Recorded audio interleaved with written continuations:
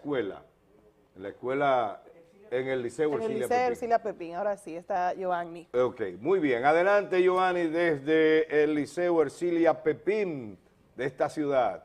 Vamos a ver qué nos tiene. Adelante. Muchísimas gracias por continuar con nosotros en esta cobertura especial, Tu Voz, Tu Voto, a través de Telenor Canal 10 y todas nuestras redes sociales. Y me encuentro en el recinto Ercilia Pepín, aquí en San Francisco de Macorís, donde las votaciones iniciaron de manera puntual, como lo ha establecido la Junta Central Electoral. Sin embargo, uno de los delegados de la Fuerza del Pueblo tiene bien temprano una denuncia ante nuestro medio y me encuentro con Benito Antonio. Benito, ¿cuál es la situación?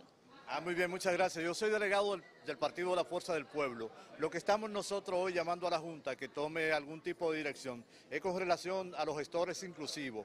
Los gestores inclusivos son los que están eh, apostados y están or- organizados para ayudar a las personas que tienen algunas dificultades para votar. ¿Qué pasa? Como están en un lugar lejos del lugar de votación, lo que hacen es, el secretario tiene que salir de la mesa donde está ubicado para que la persona que necesita la ayuda pueda firmar.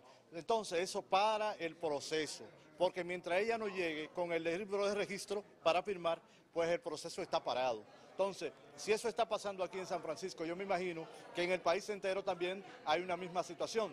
Es un cuello de botella lo que se ha creado entre el colegio. Ahora yo digo que el presidente del, del colegio no toma no toma las medidas del lugar porque el presidente inmediatamente salen de ahí con las boletas en la mano, no tiene la autoridad ni tiene entonces la vigilancia del presidente de del, del colegio electoral.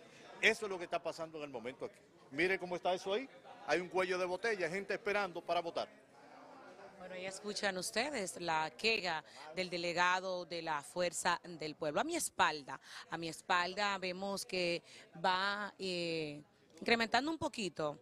Hay que resaltar que desde temprano, desde las 7 de la mañana que abrió este colegio electoral, la asistencia es muy tímida muy tímida la asistencia en este recinto ubicado en el Liceo Ercilia Pepín, aquí en San Francisco de Macorís. Mientras tanto, yo continúo haciendo el recorrido por toda la zona para llevar todas las incidencias a usted que se encuentra siguiendo esta cobertura Tu Voz, Tu Voto, Telenor 2024.